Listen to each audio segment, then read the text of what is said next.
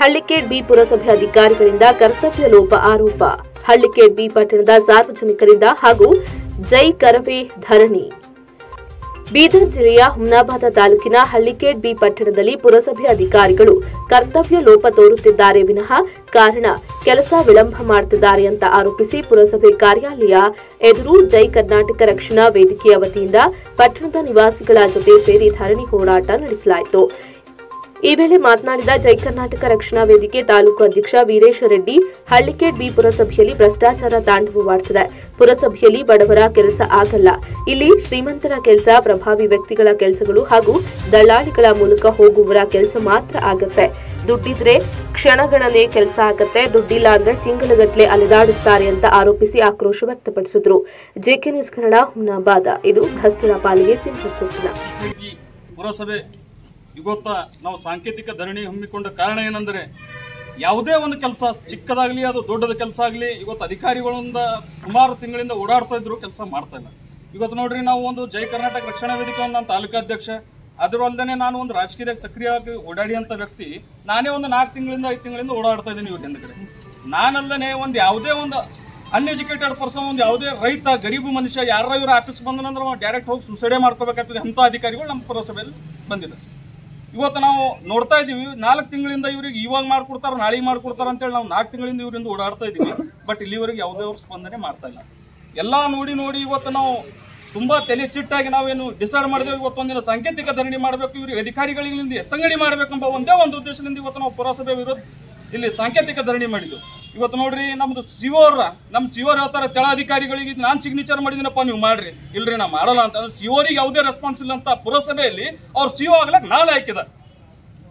ಮತ್ತೊಂದು, ಇಲ್ಲಿ ಅಧಿಕಾರಿಗಳು ಯಾವತ್ತು ಪುರಸಭೆ ಜಾರಿ ಆಗ್ಯದ, ನಮ್ಮ ಹಳ್ಳಿಕೇಡ್ ಪುರಸಭೆ ಮೇಲ್ಪಟ್ಟಕ್ಕೆ ದರ್ಜೆ ಆಗ್ಯದ. ದಿನದಲ್ಲಿ ಪುರಸಭೆ ಅಧಿಕಾರಿಗಳು ಬಂದಾರ, ಇವ್ರಿಗೆ ಹಳ್ಳಿಕೇಡ್ ಊರು ನೀರು ಕೊಂಡಾರ, ಇವ್ರಿಗೆ ಹಳ್ಳಿಕೇಡ್ ಊರ ಯಾವ ವ್ಯಕ್ತಿ ಏನಾರ, ಹಳ್ಳಿಕೇಡ್ ಏನದ ಎಂಬುದು ಅವ್ರ ಪೂರ ಮನಗಂಡಿ, ಹಳ್ಳಿಕೇಡ್ ಊರಿಗೆ ಒಂದು ಸತ್ಯಾನಾಶ ಮಾಡಂತ ಕೆಲಸ ಈ ನಮ್ಮ ಪುರಸಭೆ ಅಧಿಕಾರಿಗಳು ಮಾಡ್ತಾ ಇದ್ದಾರೆ.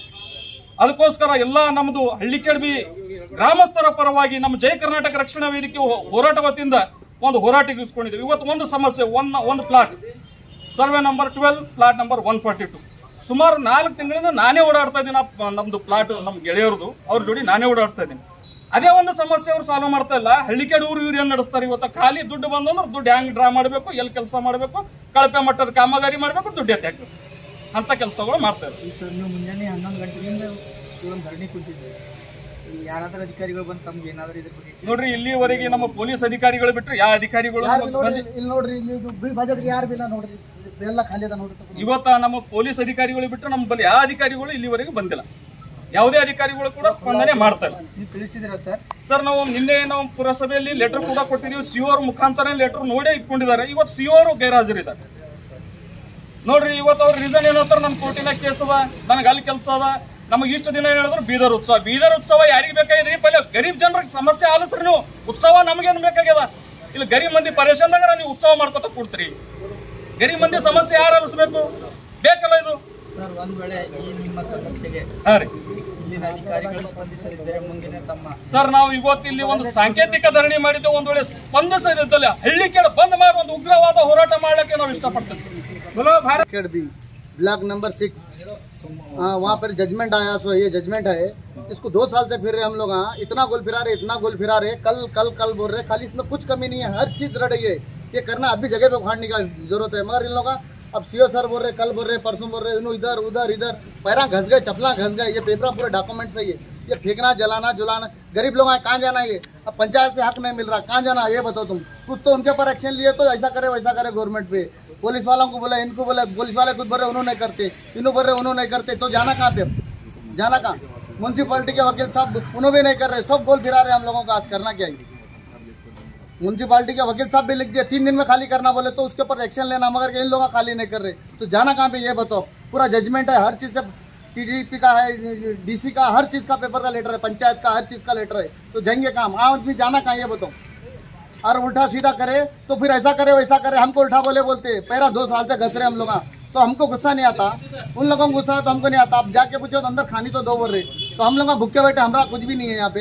हम इतने लोग ठहरे हुए कौन कैसा काम छोड़ा, कौन कैसा काम छोड़ा। रोज ऐसी करेंगे। उनका महीने को तनखा घट हो रही और ऊपर की आमदनी घट हो रही अब हम लोग ऐसे ही करते रहेंगे या और दूसरा कुछ करेंगे गरीब आदमी कुछ तो कर लिया तो कर लिया कर लिया पंचायत वाले हम क्या करना बोलते क्या करेंगे बताओ जरा एक्शन ले लो सर ये पूरा जितना भी होता ले लेके मीडिया में से ज़्यादा से ज़्यादा होगा तो फैला दो ये नहीं होना अलीगढ़ भी में पूरा तालुका में पूरा चकले लगा दे रहे पूरा ऐसा करके रिश्वत खा खा के खुला बोल रहा हूँ मैं ಎಲ್ಲ ಆಡಳಿತ ಸಿಬ್ಬಂದಿ ವರ್ಗದವರ ಈ ದುರಾಡಳಿತ ಹೊರತಲ್ಲದೆ ಇದೊಂದು ನಮ್ಮ ಹತ್ರ ಒಂದು ವಾರ್ಡ್ ನಂಬರ್ ಆರರ ಒಂದು ಸಮಸ್ಯೆ ಇದೆ ಸುಮಾರು ಏಳು ವರ್ಷ ಕೆಳಗಡೆ ಇದನ್ನು ಸಿವಿಲ್ ಕೋರ್ಟ್ ಅಂಗವಾಗಿಂದ ಜಡ್ಜ್ಮೆಂಟ್ ಕೂಡ ಬಂದಿದೆ.